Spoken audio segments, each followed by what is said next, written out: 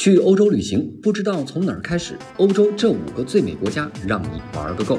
第一名，你知道是谁吗？第五名，挪威，一生必须去看一次的挪威北冰洋极光。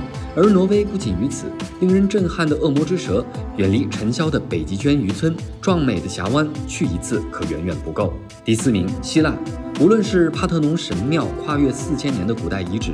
麦泰奥拉修道院，还是米克诺斯岛或者圣托里尼，来到这里都不可能对希腊的吸引力无动于衷。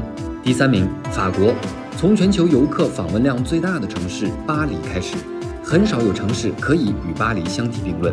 但是也别忘了，法国还有其他非常有趣的城市，如波尔多、里昂、图卢兹或者斯特拉斯堡。第二名，意大利，除了富有盛名的意大利面、咖啡、葡萄酒。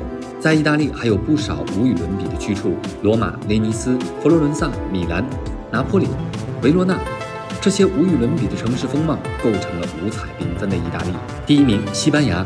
根据 Los Traveros 网站进行的调查评选，西班牙被评为欧洲最美的国家。美食、美景、美女、好天气，这可不是西班牙人自吹，而是西班牙真的要什么就有什么。西班牙世界遗产就有四十四个。从巴塞罗那到格拉纳达，从圣家堂到阿尔汉布拉宫，这里同样有着世界上最壮观的建筑设计。如果你喜欢海滩，就去马略卡岛，那里有世界上最好的海滩。想看火山景观，加那利绝对让你情有独钟。一年四季的好天气，什么时间去都刚刚好。在欧洲选择最美丽的国家旅行真的不容易。如果只能选一个，你会选择哪里呢？